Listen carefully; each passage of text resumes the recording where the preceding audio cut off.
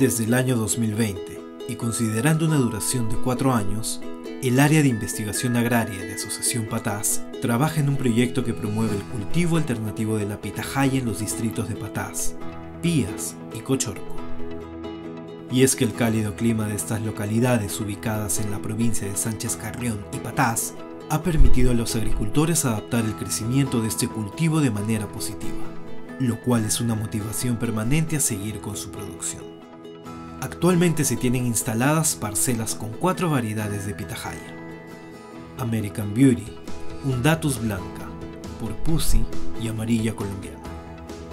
La finalidad de este proyecto es mejorar los ingresos económicos y la calidad de vida de las familias beneficiarias focalizadas en estos distritos, y a su vez contribuir con el cumplimiento de los objetivos de desarrollo sostenible.